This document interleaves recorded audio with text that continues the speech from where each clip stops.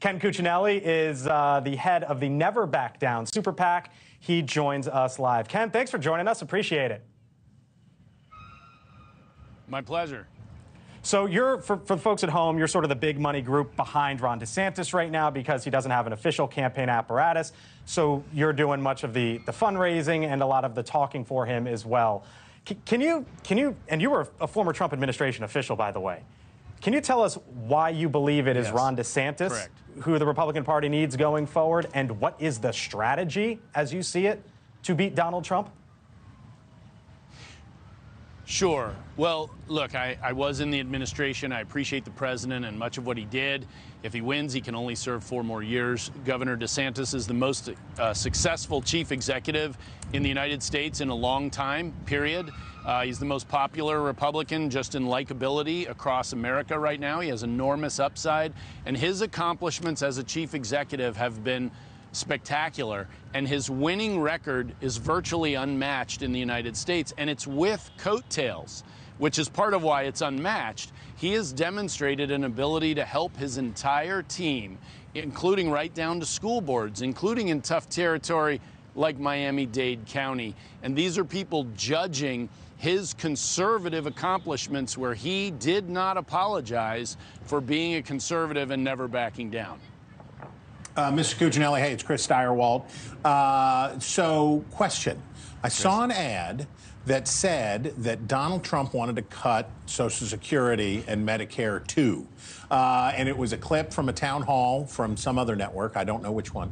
Uh, no, but it was a clip from a town hall, and it was Donald Trump saying that there would be cuts.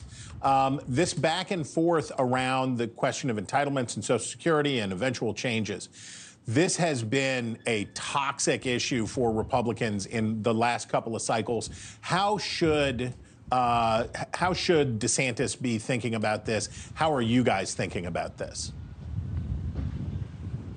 So first of all, because we're a super PAC, we do follow the leader. We don't speak to policy. We take the governor's positions and advocate for him and for those positions because we believe he's demonstrated such good judgment over the years. 10 years of consistency and solid good judgment.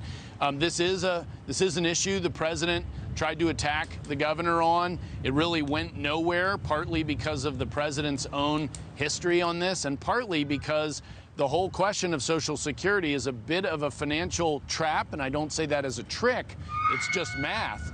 Um, you know, we're closing in on what the, the trustees say is the end of the line for that money. So this is going to be a tough issue for every single candidate, regardless of what position they take. But I fully expect the governor, if he gets in this race, as I hope, will stay consistent as he has over the years, and he'll do as he said and uh, work to, to, to put Social Security in the best possible position he can.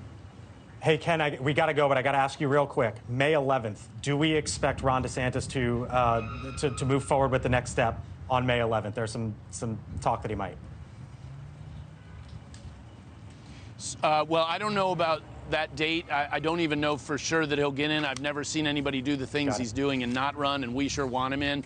Um, okay. When you said May 11th, I thought you were going to ask me about the takedown of Title 42, and the governor's been great on immigration as well. That's that's a, that's a, di- that's a different issue, level. and uh, yeah, no, that's a different issue, and, and we got to keep it there. Ken Cuccinelli, thanks for joining us. Appreciate it. Well, coming up here uh, tonight. Thanks for watching. Go to newsnationnow.com to find News Nation on your television provider. And don't forget to subscribe. Click the red button to get more of News Nation's fact driven, unbiased coverage.